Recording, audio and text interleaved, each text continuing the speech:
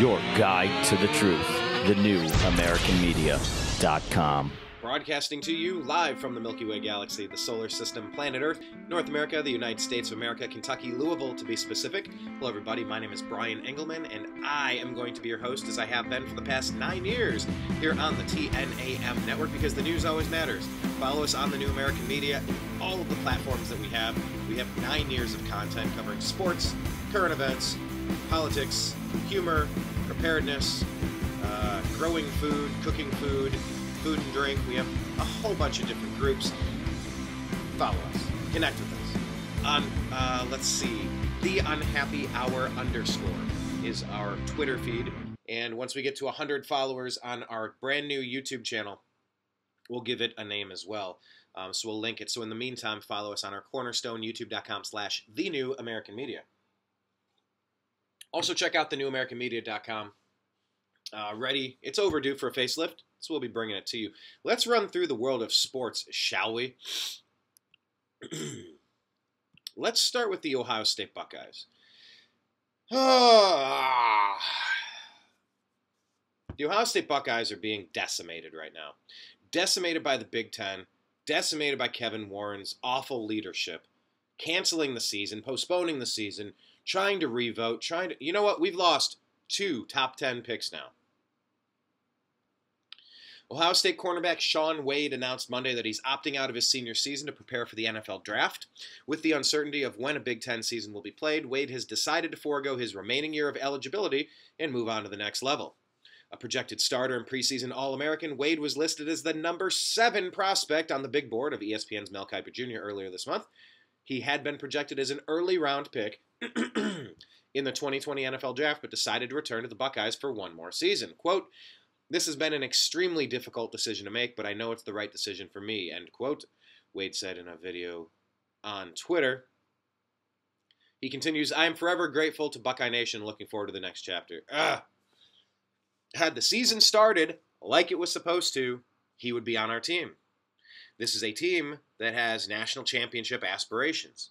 And let's be honest, if they ever decide to play again, the Ohio State Buckeyes will still have national championship aspirations, but you lose the number seven draft pick in, in the NFL draft. That hurts your team. I know it's next man up. I know it's an NFL football factory at Ohio State.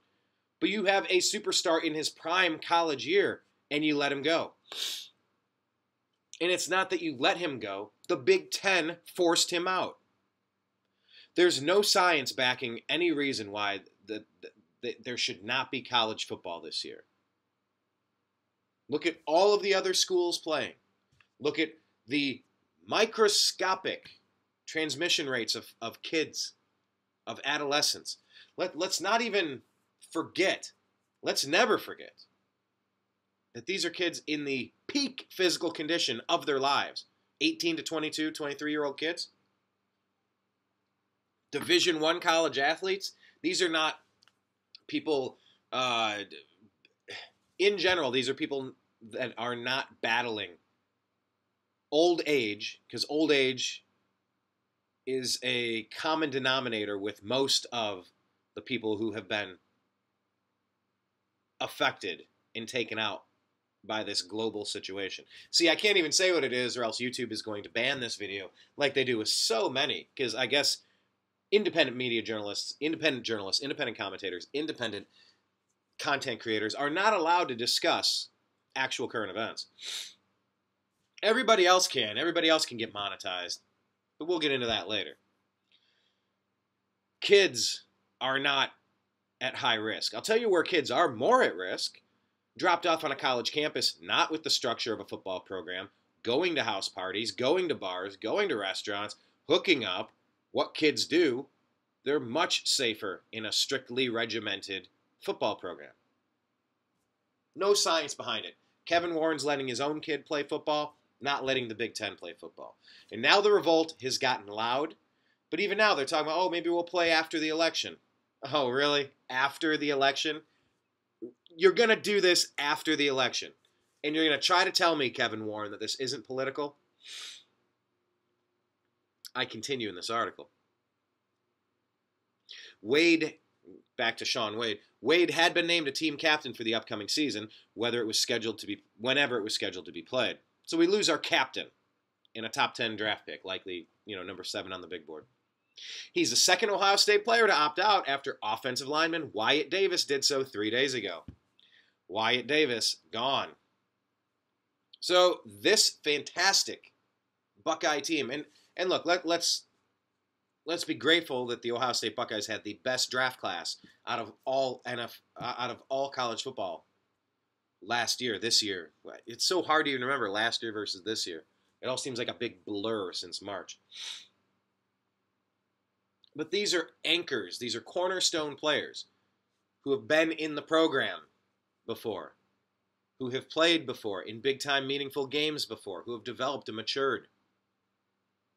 This hurts. A big name, Shaun Wade, leaving on the defensive side. A big name, lineman Wyatt Davis, doing so earlier, crushing the Buckeyes. Painful. So let's look take a let's take a step back out from just looking at the Ohio State Buckeyes. It's from what a couple of hours ago. This this story, I believe so. Yeah, a couple hours ago. Big Ten schools will all move together in a decision on the football season. It's one for all and all for one. Whether the Big Ten decides to reinstate its fall sports season, it will do so collectively, Wisconsin Chancellor Rebecca Blank told reporters Monday in a rare on the record comment by a conference executive. I will say we're all going to move together in the Big Ten, Blank said during the teleconference, audio of which the Detroit News received and reviewed. We're all going to play or not if we possibly can. This isn't going to be a school by school thing. The comments came a day after the conference's 14 presidents and chancellors met again Sunday to review updated medical data and, according to Blank, reviewed multiple proposals for a possible football season, but they didn't hold a vote. A formal vote is expected to take place at some point this week, with the Big Ten needing to flip six previous nay votes to yay in order to play football. Yay. The previous vote to postpone the season, announced August 11, was 11 to 3, with Ohio State, Nebraska, and Iowa as the lone yeas. According to the Milwaukee Journal Sentinel, Wisconsin expected to flip this time. Blank wouldn't confirm that, saying only there are a variety of things that have changed. No, there haven't been things that have changed. What's changed? Look, it's been a frustrating sports week. The Browns got embarrassed. The, the, the, the, Cleveland Indians are in complete free fall. And the Buckeyes have already had their season decimated by losing two of their best players already because of this nonsense. Things have changed. What's changed? Kids were never at a high risk of this. Kids were always safer in an athletic program getting consistently tested than being dumped into a college campus. You see all you see so many other schools playing. Things haven't changed. What's changed is the backlash from people that are sick of being told that we have to quarantine as healthy people. You should take the elderly and quarantine them. They are the most at risk. People who are obese, people with diabetes, people over the age of 75. There are clear indicators of what marks a high risk individual. The rest of it, you know what? Things happen. Life is a risk. I could go tomorrow, you could go tomorrow. We can't bubble wrap ourselves and live in a cave. I just I can't read this stuff. There are a variety of things that have changed. Right, things have changed. What changes you're starting to see that we're seeing it as hollowly, transparently political. Governor Whitmer, uh, Kevin Warren. I'm, I'm just gonna calm down. Deep breath. Good times. Blank says there are a variety of things that have changed since we first made that decision but it's unclear what other schools, if any, are prepared to join them amid a still ongoing pandemic. Oh, good grief. Michigan and Michigan State, both with presidents who are infectious disease experts in doctors Mark Schlissel and Samuel L. Stanley, respectively, voted no last time. Neither has given any indication how they'll vote this time. Asked to confirm Blake's comments that this will be an all or nothing proposition for the Big Ten, spokespersons for Schlissel and Stanley both declined to comment when reached by the news on Monday. Stanley hasn't spoken to reporters since just after the Big Ten's initial announcement, August 11th. And Schlissel has yet to hold a full press conference. He met individually with the student newspaper. Quote, the Big Ten Conference will handle any announcements, end quote, a spokesman for Schlissel said in an email to the news. Blank's comments came after sports talk radio host Dan Patrick reported earlier Monday that the Big Ten could play on without Michigan, Michigan State, Maryland, and possibly Wisconsin. He said Ohio State, Iowa, Nebraska, Purdue, and Indiana would play. Good, just play! Play the game! This is what you exist for. You don't get these years back. You don't get do overs. You don't just push the season. Oh, yeah, we'll start in the fall or in the spring. No, you won't. You're going to start a season in by the way, January is winter. That's not spring. Spring is spring. You're going to play in January? These NFL players, these college players preparing for the NFL are going to be in the, the combine. They're preparing for their draft status in January, February, March. They're getting drafted in April. There's not going to be a season in January. You're erasing a season. You've erased a season. You've erased a potential opportunity for the Ohio State Buckeyes to win a championship. You have ruined the opportunity for so many kids to have breakout seasons and get drafted in the NFL. Big Ten, you have screwed up royally.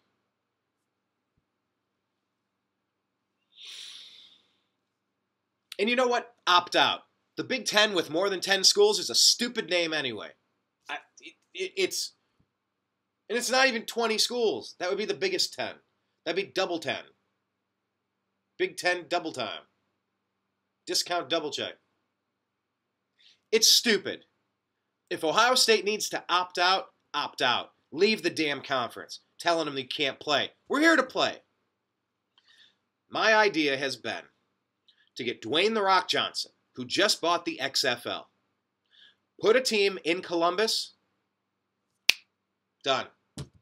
Hire the players on the team. That's your XFL team. Go semi pro. You're semi pro anyway. You don't need the Big Ten. The Big Ten needs Ohio State. Telling them you can't play. Figure it out. I, I just. It's very frustrating. Dan Patrick also said the presidents and chancellors would vote on Monday, but there was no indication that they had voted Monday. The Big Ten continues to face significant pressures from fans, parents, coaches, and players, even President Trump, to give 2020 football a shot. But the conference has been steadfast in that its decision won't be made by outside influences, including one active lawsuit brought by eight Nebraska players. By the way, there needs to be a class action lawsuit, not just eight Nebraska players. This should be all across the Big Ten. This is on Kevin Warren. This is on the spineless chancellors the school administrators, the presidents, the deans, whichever people are ultimately responsible for canceling this college football season. You're not postponing it, you're canceling it. You know what you're doing? You're saying that there will be no bowl games. There will be no competition for a national championship. Well, then you tell me why these blue chip athletes are going to give a damn about your season with nothing on the line. You think they're going to play in January? You think they're going to play a season in April or May or June and miss out on next year? Th- this was a cancellation from the beginning, not a postponement. You're going to miss out on all the bowl games and all the opportunities for the championship. What you're what? The Big Ten thinks they're going to opt out and then play in January and ask the bowl games to wait until April or May to have bowl games and championships? That's never going to happen. That was never in the realm of possibility. You have taken yourself out of the running of a, of a potential championship. It is ludicrous. There needs to be class action lawsuits, not just eight people from Nebraska. I didn't realize I was going to get so annoyed by this. But I do realize that I was going to get annoyed by this, which is why I haven't been bringing you daily content. Which is why I've been so frustrated with the politici- politis- politicization? Politicization? With the injection of politics. No, I know 10 other ways I can say it. Politiciz- politicization? Politicalization? What is? Is that a word? I've been so annoyed by the influx of politics into the realm of sports. It's been hard to get excited. It's been difficult to stay amped. It's been nearly impossible to have fun watching sports commenting on sports. I used to go to sports. I used to flock to sports. And you are supposed to be my welcome distraction for those things, to paraphrase Mike Polk Jr. It's been hard. It's been difficult to get excited for sports. And this, bailing on a season, is the epitome of wedges that you will drive between your product, which is entertainment, and the fans who are furious. Eight Nebraska players in their lawsuit. Their attorneys received some requested documents from the Big Ten on Monday, and they said they're reviewing them before commenting. In the threat of litigation by attorneys general from Ohio and Nebraska. Instead, it'll be based on science. Oh my. This is not based on science. Science is not recommending that you cancel a season. The emergence of rapid testing is a positive there, but the still still raging, the still raging corona is a. Can I even say this on on YouTube? I'm censoring the word. And that's the other part of it. We've been so censored. Our our our, our content, our page has been erased without explanation, without opportunity for remedy, without conversation by Facebook. The New American Media has been deleted. My personal profile deleted under attack. And it makes it not fun to spend time creating videos, researching stories, breaking perspective. Why? So nobody can see it? I can't pretend that this hasn't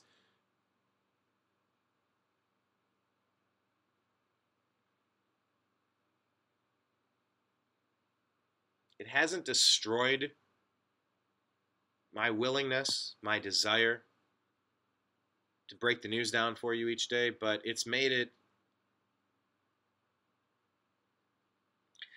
I've always wondered what this would have been like had I had a playing a level playing field.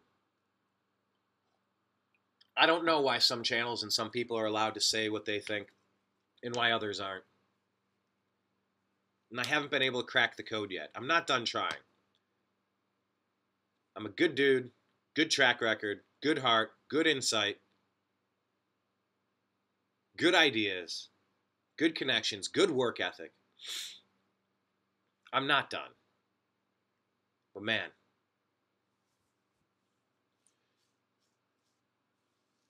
just don't tell me this is about science. Don't tell me this is about science. The world is open. Look at the Kroger workers, the Trader Joe's workers, the Speedway workers. Look at your gas stations. Look at your post office. Look at your uh, grocery stores. Look at your.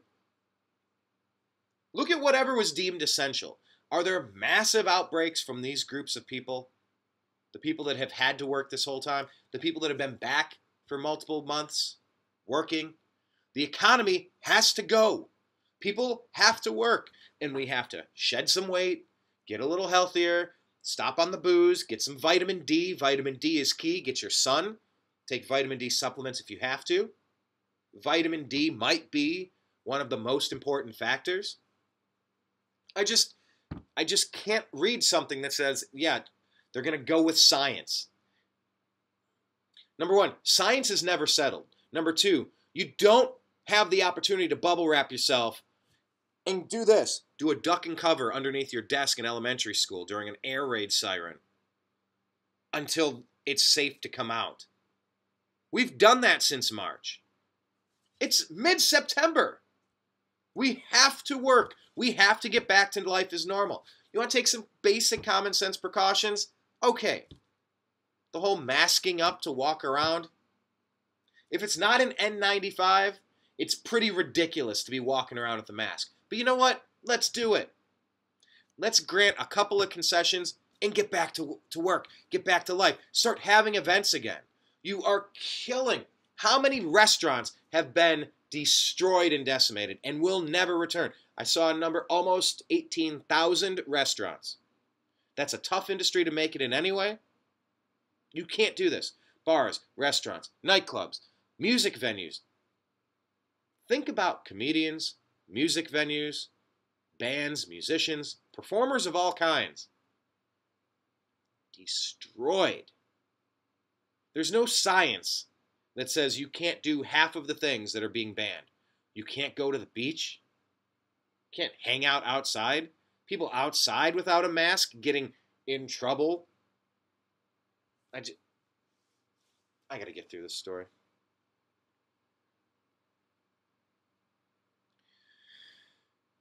the still raging virus is a roadblock, especially on college campuses. All Michigan State students have been told to quarantine for two weeks amid an outbreak there. Wisconsin Athletics currently is shut down and has gone to remote learning for two weeks given its spiking cases. Iowa just got back from a shutdown, and Maryland, Ohio State, Rutgers, Indiana, Michigan all have experienced football shutdowns amid outbreaks of varying degrees. Michigan shut down some sports for a while, but not football. Multiple football players opted out of the season before the Big Ten's August 11 announcement, including four from Michigan State and one from Michigan, citing health and safety concerns. And on Monday, Ohio State star cornerback Shaun Wade opted out. Interestingly, Wade's father, Randy, had been one of the most outspoken Big Ten parents protesting the conference's postponement decision.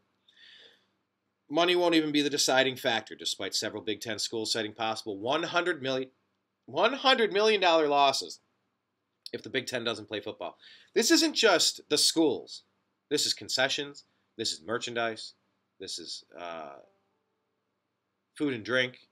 This is Uber and Lyft drivers. These are hotels. This is this is travel. This is the economy.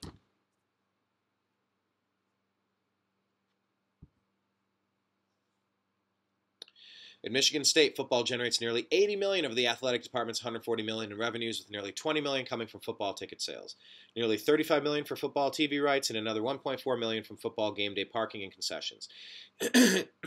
At Michigan, football brings in more than 122 million of the department's 198 million in revenues, with about 46 million for ticket sales, 35 million for football TV rights, and 2.5 million for game day parking and concessions. Michigan State also brings in about 12 million in contributions, often from alums and often tied to football tickets. At Michigan, that figure is about 29 million. Blah blah blah. It continues. It doesn't continue. I'm done. Just I can't. I guess I'll tweet this out. Okay, so follow us at American underscore media underscore. And I'll also do this um, at the unhappy hour underscore. All right, that's tweeted out. Check us out there. Moving on, because I, I just I can't with this anymore.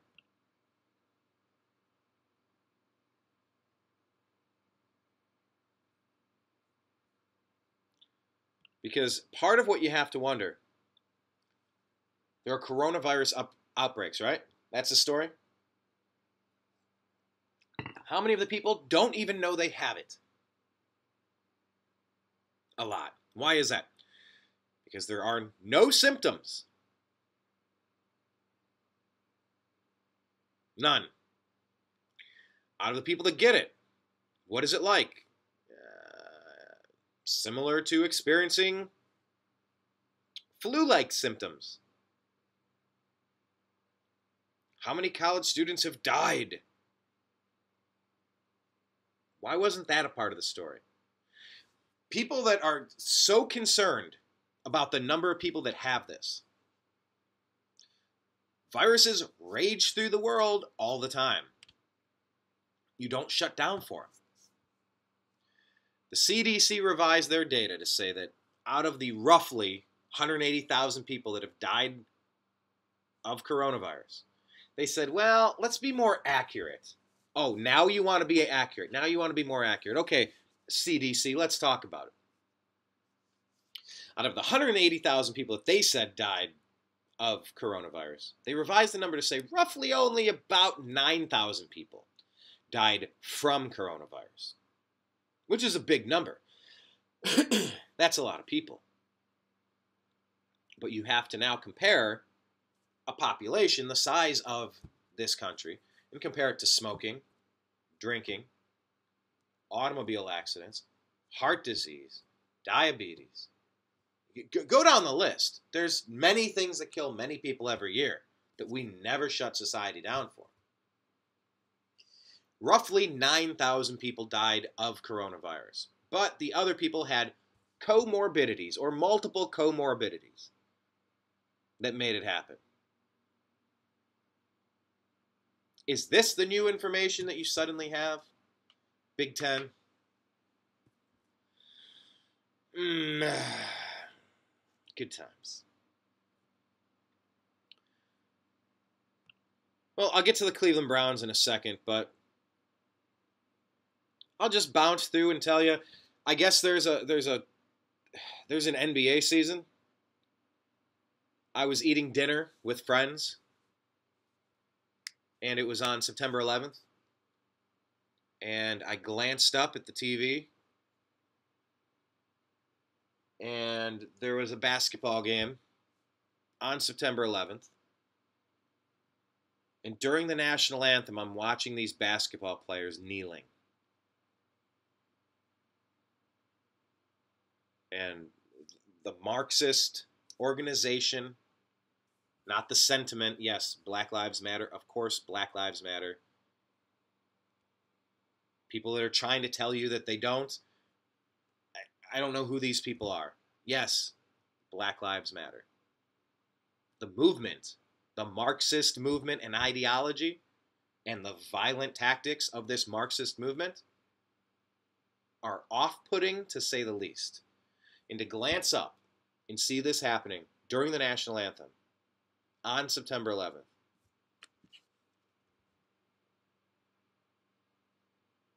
Um, it's off putting.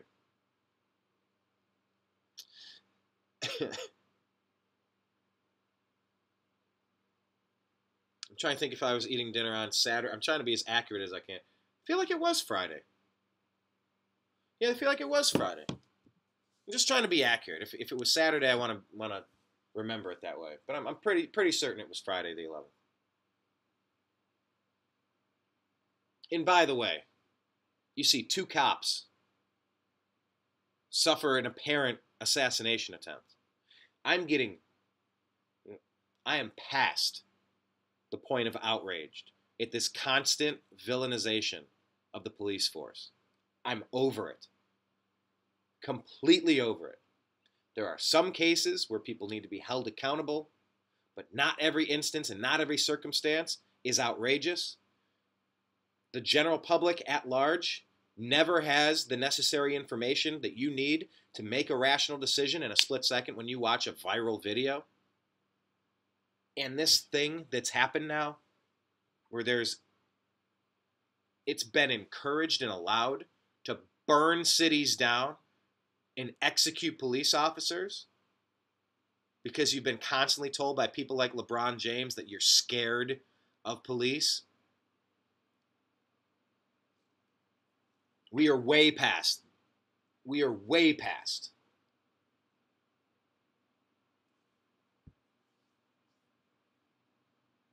we're way past a point that this narrative we are way past the point of, of this narrative serving a valid purpose.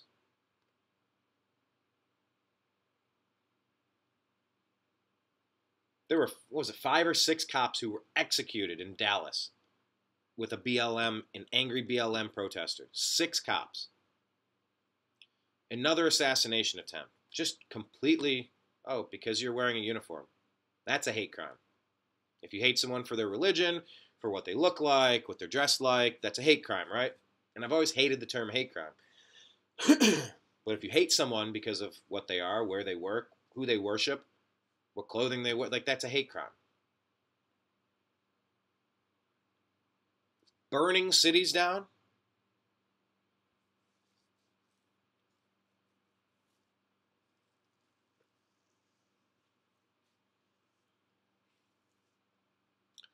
I'm trying to I'm trying to gauge my words carefully because it's very frustrating.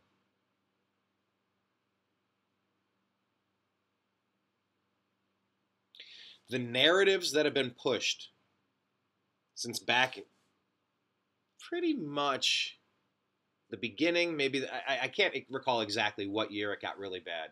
Probably Mike Brown and Kaepernick and Barack Obama. But Obama was he was also doing the the uh, the Cambridge police uh, they, they, they acted stupidly, had no information, and it started this trend of blaming police, of vilifying. There was Trayvon, which was a self defense shooting. There was Mike Brown, which was a self defense shooting. And then cities were burning, and LeBron's wearing a hoodie and standing in solidarity with Trayvon. That dude attacked a guy and got shot in self defense. There was a trial, there were witnesses. Mike Brown robbed a store, walking down the middle of a street, attacked a cop, reached for his gun, ran away, stopped, turned around, put his head down, and charged at him. Massive human being. Yeah, you shoot in self defense. And cities burn because of it. Now, Freddie Gray, all right, yeah, maybe. But there was even evidence in that case that was a little convoluted. Uh, Tamir Rice. Hey, man, that kid did nothing harmful to anybody. yeah, he was aiming his gun. It was not smart. But you don't need to show up and blow smoke. Look, I don't want to legislate all these things again. But over and over and over, the media, the Democratic Party, and the sports industrial complex, they want hatred, they want division, and they want to co opt this movement, which sounds good. Remember the Patriot Act? Hey, we're all patriots. Oh, but Snowden told us that's all. You're illegally collecting our data and spying on us. Well, there's the Fourth Amendment. You can't do that. That's wrong. That's bad. So it sounds good, the Patriot Act, but it's not. Black Lives Matter. Of course they matter. Yes. I'm sorry you feel like you don't, but you do to me, and you do to everyone I know. But the movement is not. And, and to try to turn on a basketball game and see all this crap.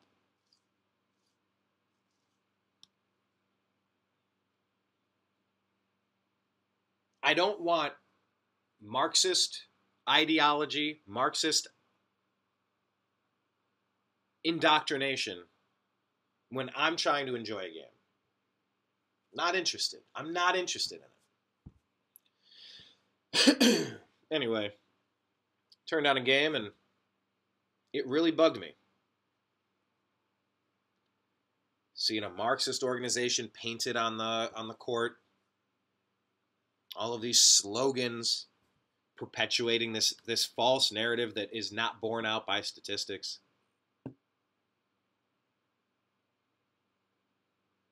So that's basketball, right? In the world of basketball, the Miami Heat and the Boston Celtics are in the Eastern Conference Finals. And they tip off tonight, game one. Meanwhile, in the Western Conference, the Denver Nuggets are playing the Los Angeles Clippers in a game seven for the opportunity to meet LeBron James, Anthony Davis, and the Lakers. So,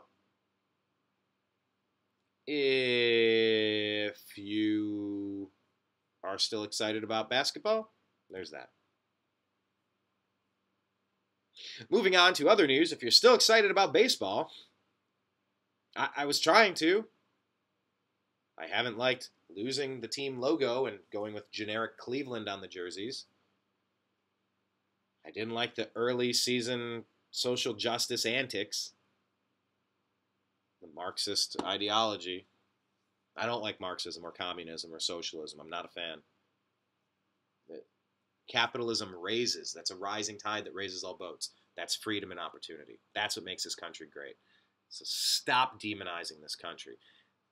It's something that is being pushed by the, the China, by the Chinese, Russian. There's a few groups out there that want to sow division and discord in this country. They, they want chaos. They want this system to seem flawed and awful and racist and evil because then we have a civil war on our hands. And you know what? It makes us real easy to pick off and mess with when we're fighting each other.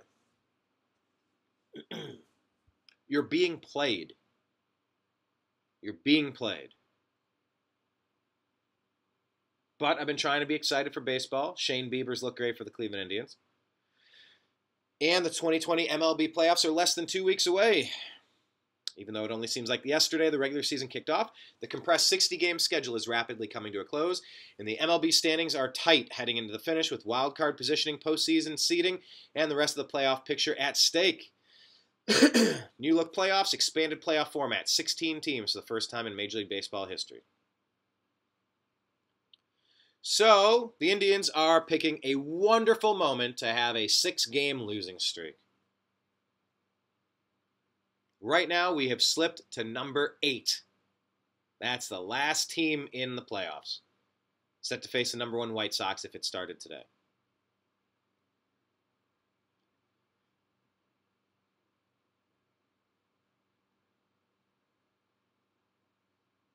So the Indians are tied with the Blue Jays and the Yankees with nine as the magic number to reach the playoffs.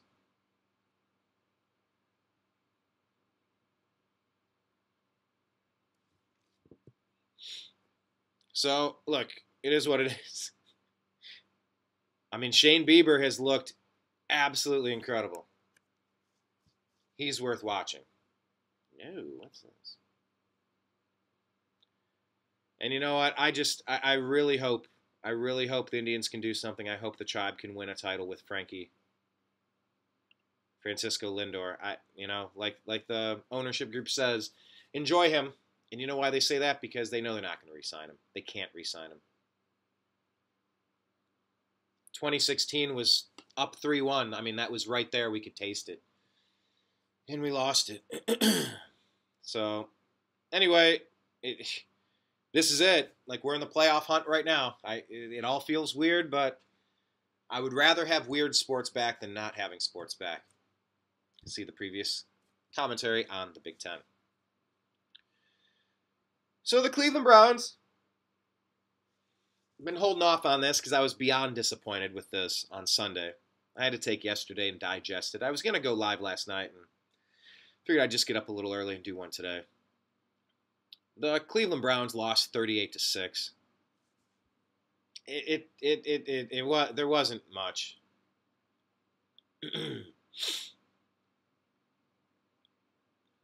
wasn't much to offer. Um, David Njoku looked good, caught a touchdown pass, and then he injured himself. So he's going to be out, what are they saying, at least three weeks? I guess injured himself. That's just kind of a weird way to say that. He got injured. Baker Mayfield, I don't know. I saw passes that weren't really. Eh, some of them looked good, some of them didn't. The running game looked good. Nick Chubb and Kareem Hunt looked good. Kareem Hunt's getting a few too many carries, though. I don't know why. You got a workhorse in Chubb. I, I, I want you to ride that. Uh, running back by committee, I, I am not excited for that. Um, Austin Seibert, Austin Seibert, Austin. See you later, Bert. Cleveland Browns have cut their kicker and re-signed former kicker Cody Parkey. Ah, cutting a player after week one. He, he missed an extra point attempt. Dude, I mean, that's like the easiest part of your job, and you've you've missed several last year too. Fifth round pick on this guy. Gone. Deuces. Um, it's too early to say there's dysfunction in Berea.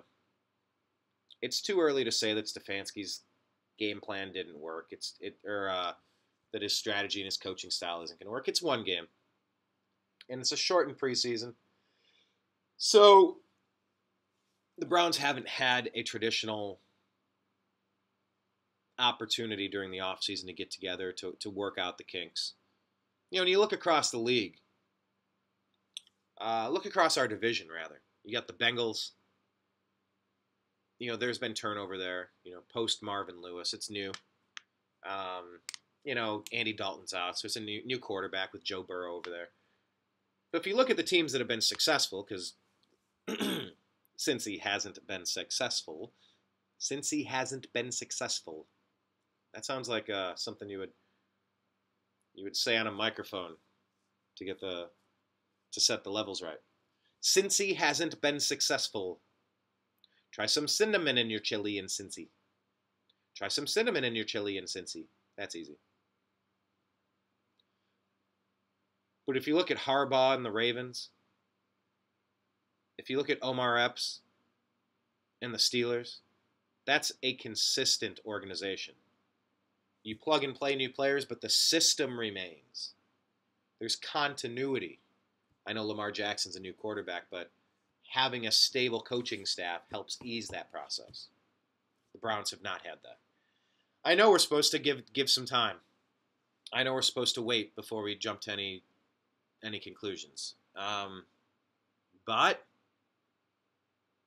was pretty disappointing. It was pretty disappointing. So the good part is this: we get to play Cincinnati, who got the number one pick last year with Joe Burrow, quarterback, for a reason, because they weren't very good. Um, they've obviously had a, an inflection of, of talent, influx of talent, inflection, influx of talent. That's twice now. I'm trying. I'm like jumbling words, saying, "Is that a word?" Influx of talent. I know influx of talent is something you say, but they're young, and they're a beatable team. You can't take a single game for granted. But look, the Cleveland Browns play Thursday night, nationally televised Thursday night game. In a way, that sucks because you go from no hitting to a lot of hitting. Then you don't get the necessary recoup time to kind of get your body right. You just got to go out and play again in a way that stinks, but in another way that's great. In another way, hey, you have an opportunity to get out there and fix what you weren't able to do right the first time. You're able to get out and get a win. Suffer a loss, go for a win. You could be one and one. And then you have a long week to prepare for your next opponent. If we can be one and one with an extended week of preparation.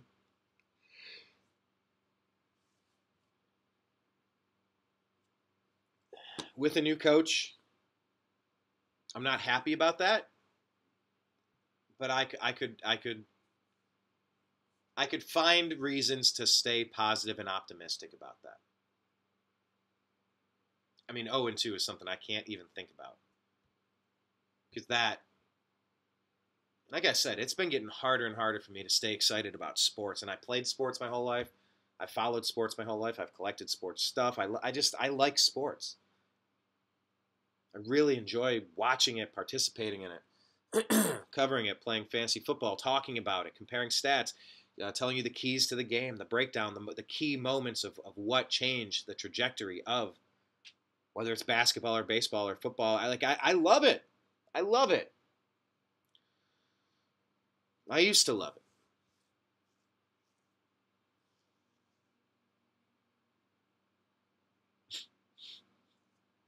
I used to love it. I'm trying to stay loving it.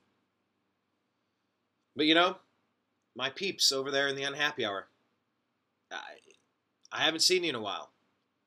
Because I, I had been putting most of my energy into that platform in the group. I guess it's still there. I'm not running anymore. I've been deleted with no explanation. Ah. So it's frustrating on a social media level. It's frustrating on a social justice level.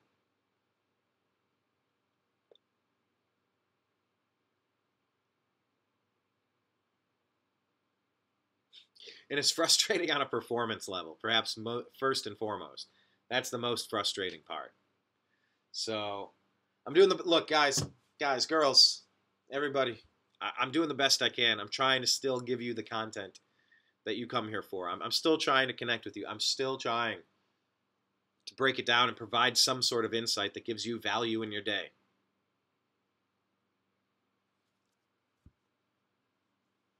I've just had to. Uh, I've had to make some changes. So follow us on Twitter at American underscore media underscore. As for our general page, we're going to find a lot of uh, current events and politics on there right now. For sports, go to at the unhappy hour underscore. Once again, we will be rebuilding. Once I find this new rhythm on the newamericanmedia.com. youtube.com slash the new american media click subscribe um, but please follow us on our youtube channel if you haven't yet I don't have a name for it. I'll just I'll share it through the Facebook page. So, excuse me. I'll share. I've said that so many times. I'll share it through our Twitter feed. So if you can please lick, like and subscribe, like and subscribe, that would be greatly appreciated. So. Anyhow, and look, we're going to do more agree to disagree shows. We're going to book more guests. We're going to get back to doing that. That was the cornerstone of what we did. But honestly, it's it's been a pretty toxic couple of years with the fake impeachment scams and you know the, the phony collusion stories, the Russian nonsense. It's in the media. The, the media has been unbearable. People on social media have been become unhinged it's taken a lot of the fun out of covering that stuff too. I've disconnected a little bit. But you know what? It's like that scene in what is that Office Space about Michael Bolton. He says, "Why should I change my name? He's the one that sucks." Why should I stop doing what I'm doing? The social media companies suck. The out, professional outrage artists and the panic porn people of social media, they suck. I don't suck. I'm trying to balance common sense, reality, fact, and nuance. I don't want my sports to be woke and Marxist. I want it to be awesome. And I want players to continue working in their communities to make society a better place. But all too often, what I've seen with sports is a willingness to demonize with a broad, sweeping stroke. Law enforcement is evil, and that leads to assassinations. That leads to chaos. That leads to cities burning. Ineffectual Democrat mayors. Lightfoot in Chicago. Oh, geez, what are all these people? Newsom's bad, but for, uh, well, I guess if we're talking governors, we're talking mayors. I've seen ridiculous restrictions in Minnesota I'm sorry, Michigan, California, Oregon. I'm tired of seeing cities burning. This movement, this BLM Antifa hybrid of chaos, the murder, the property damage, the destruction, the chaos, the threats, the intimidation, the assaults. This movement has jumped at the shark. This movement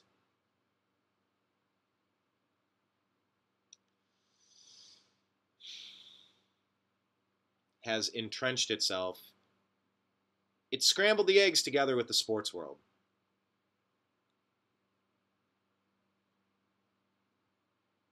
The same sports world that demonized Tim Tebow for taking a knee. Remember, can you can we remember back that far? Because he believed in a in a higher power that maybe humanity was created in the image of a god in trying to take a solemn moment after a touchdown to take a knee and say a quick prayer of thank you. If you recall, that was demonized by ESPN and the left wing media. It's hard to remember back that far, but it happened.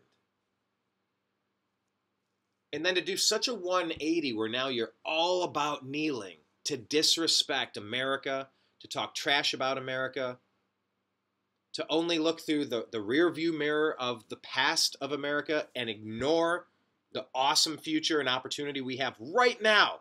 We're on a freeway driving 70 miles an hour forward.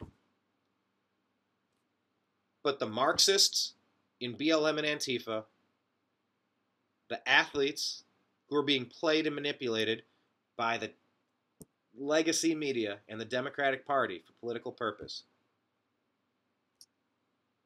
want to stare in the rearview mirror and the side mirrors and ignore what's ahead of us. It's disingenuous. It's deceptive. It's chaos. It's anarchy. It's destructive to our republic.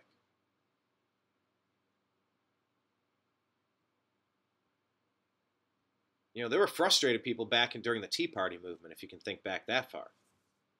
You know what? Never burned buildings down. Assembled, never blocked traffic.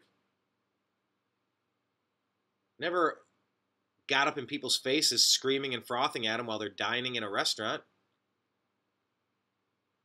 Never walked up and shot a supporter of, of a different political party like they did in, in was Portland, right? Not Seattle. It's all blurring together a little bit. Would have hundreds of thousands of people show up for events. They would leave, and they would leave the parks cleaner than the way they found them. Look across our country now. Look at the carnage. Look at the chaos. Look at the spray paint. Look at the broken glass. Look at the looting. Look at the stores that are not coming back, that will never come back. When you loot in a city, when you burn things down, business, industry, taxpayers, they flee and they don't return for a long time, many decades. This is not helping anything. And the last thing I want when I'm trying to turn on a game and take my mind away from the stuff I'm seeing online, the stuff I'm seeing on the news. The last thing I want is more of the stuff that's creating all the turmoil in the streets on the news. I don't want to see it in, on the sports field. I want equality. I want freedom. I want justice. I want liberty. I want racial equality.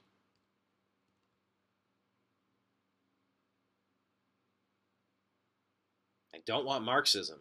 I don't want communism. I don't want socialism. I don't want these failed ideologies to replace what we have. And it's becoming painfully clear that the agendas of many of the organizers, of the people involved in this, and look up BLM if you if you don't understand why I keep saying Marxist and cultural Marxism. Look it up. Trained Marxists are behind this BLM movement. You're being played. You're being lied to. You're being manipulated. You're being force fed constant rage so you can cut off your own nose to spite your face. It's it's it's not a good look. It's not good for humanity. It's not good for sports. Look at the ratings. The ratings are way down. I still like sports.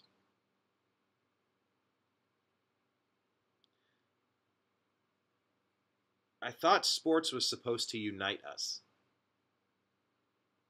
It's one of the things I like the most about sports. I don't know if LeBron is misguided or if he's in on it. I don't know. I don't know how we fix this or if we can. You know, we had our September 11th thing last week, and it reminds me of, you know, September 12th. And then shortly after, I drove with my girlfriend at the time to Manhattan. And we, we hosted a benefit, a, a fundraiser in my college with my band and the best bands in town, and raised $1,471, I believe donation only at the door. And the show was held when half the students were gone. It was like a fall break or something, so they weren't even on campus. So I was able to walk in and give the Red Cross like a stack of cash. Just here you go. Just try to help. You know, I didn't I didn't know what to do. I wanted to help. But I felt united on September 12th, 2001.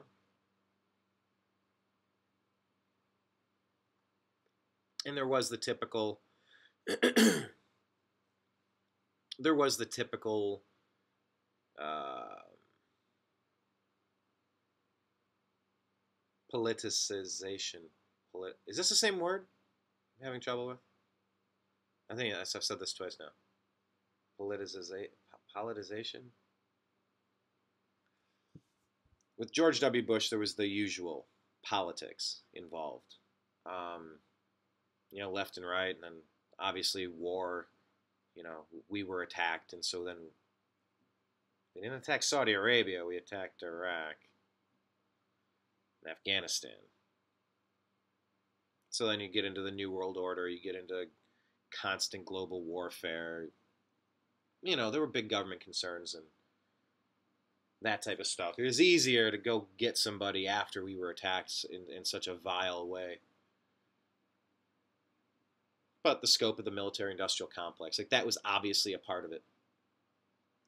But we were united on September 12th. We were in America. We were all on the same team. And somewhere during the Obama years, we something changed. You know, th- this country it was super quick. You know, not if you were living during that 100 years obviously, but comparatively to other nations that had had practices such as slavery. From the inception in 1776, no, we didn't start in 1611. Enough of that. That's been debunked as pure propaganda. We can talk about that in another topic or at another time, another show. we have covered that a little bit, but from 1776 to 18, what was it, 63? I don't remember off the top of my head. This nation got rid of that practice pretty darn quick and fought a bloody revolution to do so. This is a great place. And there's been a complicated history. There's been atrocities for sure. But in 2020, we have a pretty level playing field if you stay off drugs, stay off alcohol, if you're not having kids before you're married, if you're getting through high school, you have a pretty great likelihood of never being poor and having an equal opportunity to kick ass at life. You can kind of be whatever you want in this country. We've seen it. Entertainers, athletes, scientists, politicians, writers. I mean, pick, pick any industry. There's no industry that you are shut out of today if you put your head down and work and you do well. And you make some decent decisions. If you make bad decisions, hey, every bad decision is going to drop your likelihood of success rapidly. So when I see athletes only pushing that, yeah, cops are bad, cops are evil, I'm scared of cops, Cop, cops are the problem, evil cops. What I see in many of these instances, so many that, that the media has created, uh, created a, that they've amplified, that they've used their megaphone to stoke the fuel, stoke the fire with fuel of hatred and anger. So many of these cases are about people fighting cops. If you don't like the cops, okay. If you've run into a cop that was a jerk, hey. Mm-hmm. If you feel like a cop has treated you unfairly, right here. But when you fight a cop like Eric Garner, when you fight a cop like Mike Brown, when you fight, I, am not going to go down the laundry list. I'm so tired of this. The point is, where is the outreach? And if these multimillionaire athletes care so much, how about the outreach instead of villaini- villainizing, vilifying? It's the third or fourth time I've combined words. Vilifying the entire group of people, which I believe is stereotyping, which I believe is something we're not supposed to do. I digress. How about set up a legal defense fund where if you feel you've been wrongly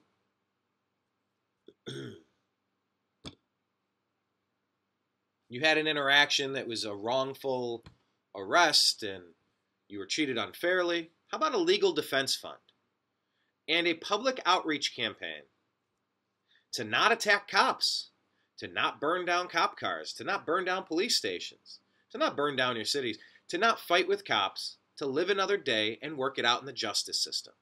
There's, if there's things you want to tweak about the justice system, guess what? You have a president that's changed.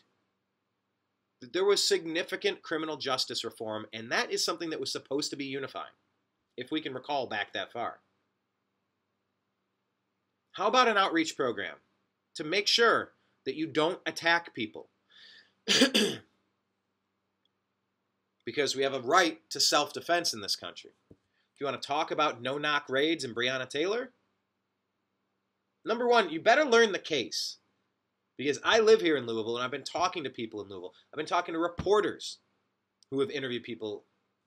The story you're being told is not quite accurate. That house was on the, the search warrant. That house was a hotbed of drug trafficking activity.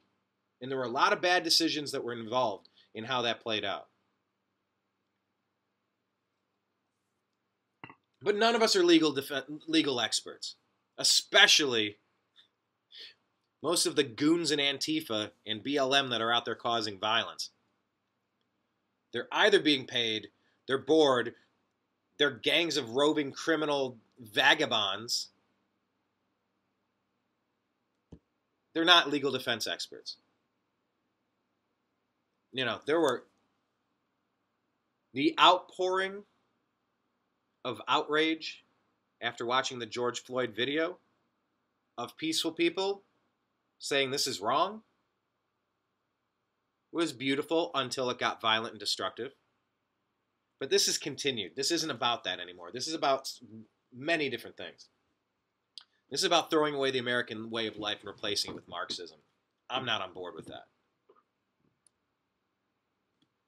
But how about a legal defense fund from these athletes to say, hey, it is never a smart idea to attack the police, to wrestle with the police, to try to shoot the police with a taser, to try to reach inside your your your your vehicle for a weapon after you've been wrestling with officers, after you've been after 911 call has been placed on you because you'd raped that lady before that Jacob Blake.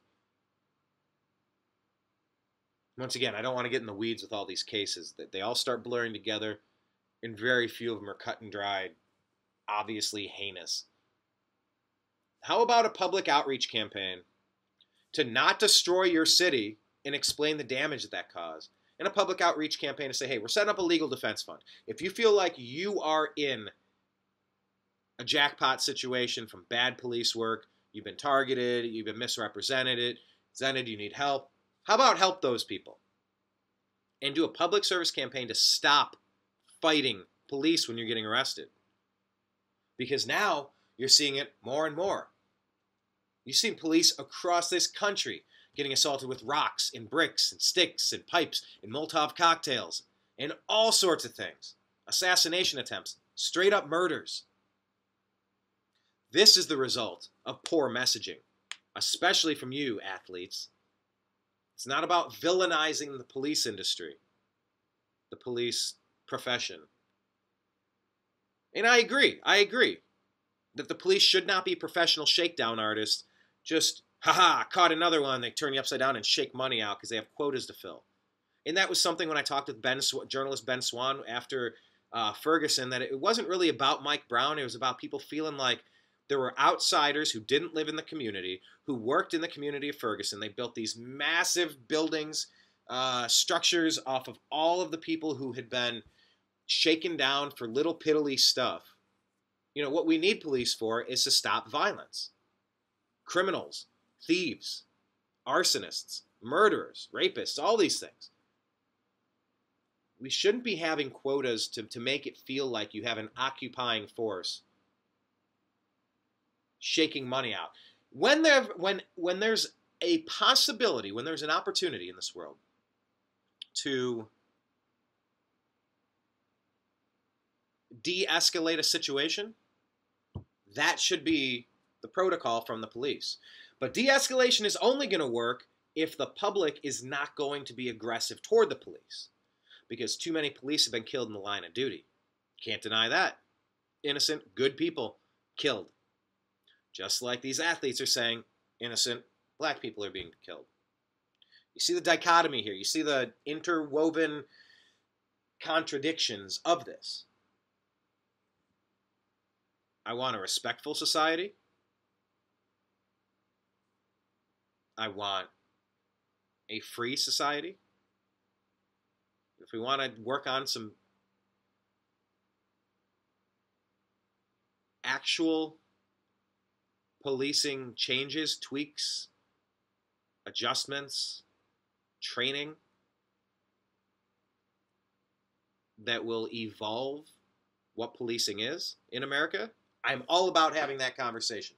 I want that conversation. I'll demand that conversation. Because I've seen it. I've seen it where police are too aggressive. They, they're looking for a fight when what they need to be doing is letting the air out of a tense situation. But when you become violent, when you're burning things down, when you're assaulting the cops, when you're when it, when it's when it's burning and looting and rioting, no, that's not peaceful. There aren't peaceful rioters, peaceful protests. No, this hasn't been peaceful since it started. That that that argument is gone.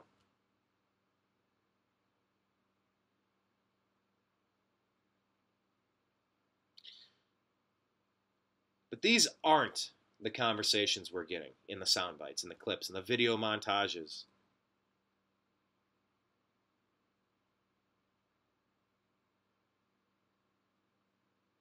And it's turned me off of the sports world big time. But look, I'm not going to give up because it's not. I fight. I struggle.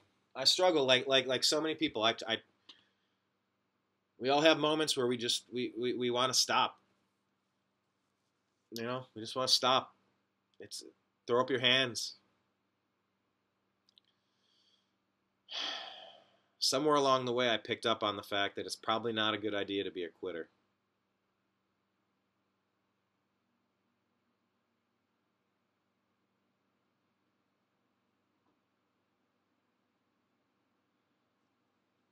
So, how about I hold out a little hope?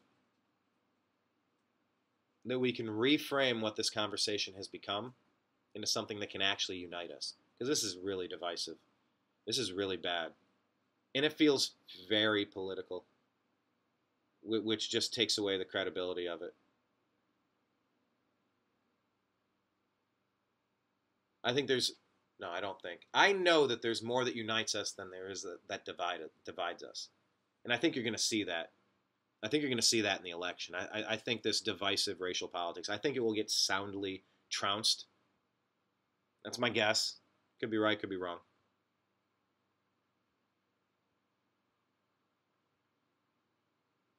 I think you've seen it in the polls. The, the nationwide chaos and the lack of protection from elected officials from the left who think that hey, if cities burn, if people are attacked, if businesses are destroyed and vandalized, that that this will make President Trump look bad, so we're going to let it happen and we're not going to have allow the police to stop this. I think you've seen the country terrified, appalled, shocked, disgusted that the left would be willing to cut off their nose to spite their face. So, you coming up? Let's see if I can get Mr. Ben to come up. He'll, he'll say hi. Okay. Come on. Well, don't me off. You're not going to come up. Let's see if I can get him on camera. Come here. Come on. He's not really a big, he's not big into getting picked up. So let's see if we can get him on camera. Come here.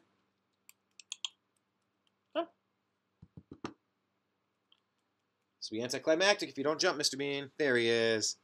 There he is. You're on camera, bud.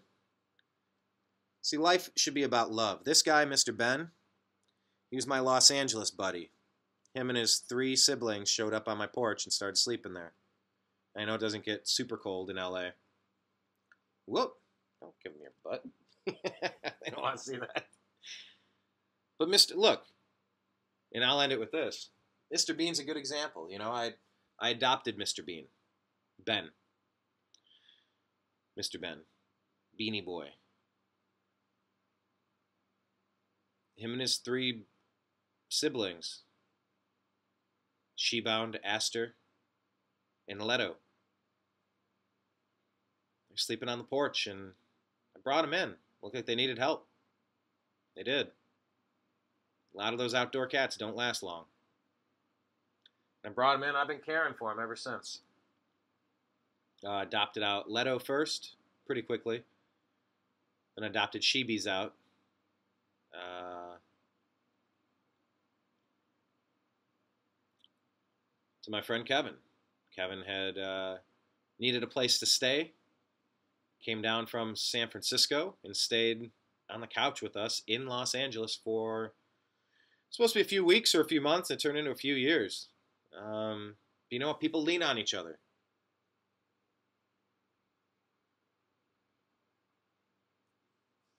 You know, people need help from time to time.